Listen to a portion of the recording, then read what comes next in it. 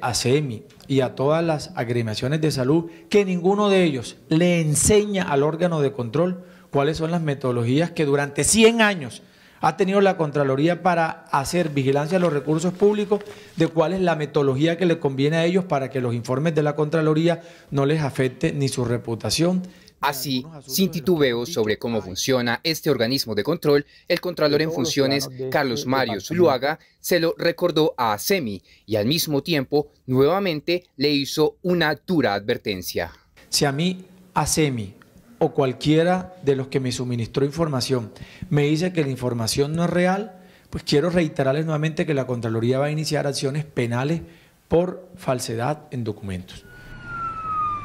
El sector de la salud está en el ojo del huracán. Por eso, la dura advertencia a las agremiaciones de EPS que desconozcan el estado financiero de estas entidades. El ente de control enfatizó en que ninguna entidad de la salud puede cuestionar las metodologías de vigilancia y control fiscal.